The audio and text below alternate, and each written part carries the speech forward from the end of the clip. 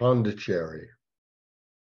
Jupiter saddled the blood moon last night for its icy ride through the wild, cold sky. And with it, the ambient rush of river, white as the moon and almost as constant. This night, like atoms of a cesium clock, like a resting heartbeat, accuracies lay in the rhythms.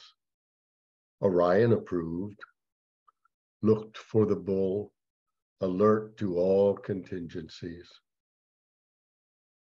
And so it went until eclipsed by the light.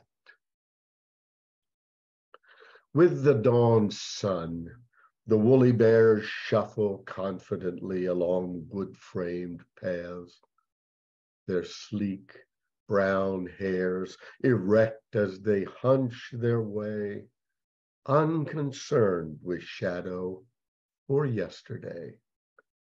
Do the whatever that betters any what if.